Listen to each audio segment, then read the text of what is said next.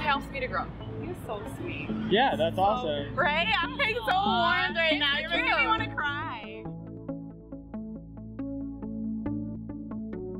What was your happiest moment of the past week? We just got, we found a home for this dog that we picked up like a month ago who needed a home. Oh, great. I, you know, it's funny. When I when I asked the question, I was going to say, is it dog related?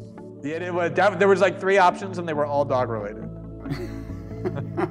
Of this week? Yeah. Okay, a few things. I got a new washing machine, the Samsung washing machine. That was happy, and I was able to change my phone because my other phone died on me, and I didn't even have it for five months.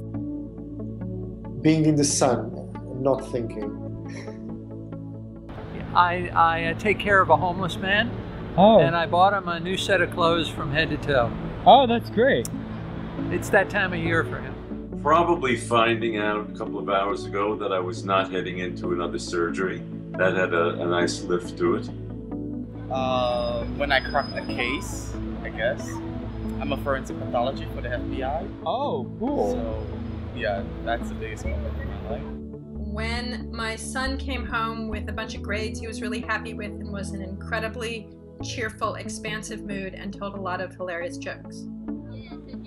Cyclone at Coney Island was uh, quite scary, uh, but funny and dangerous. I think. Uh, I'm not sure it's uh, hundred percent uh, secure attraction. Yesterday, actually, when I got paid. Oh, Yeah. That's always good. Yeah, so that was the happiest moment Yeah. this week so far. I haven't had a falling out with my mom in this past week, so that's a good one. That's always good. She's my best friend. We have a lot of fun out here. Yeah. So that's that's good moments when we're out here interacting with people, people we know. It's like it's like a family out here when you see each other every day and work together every day.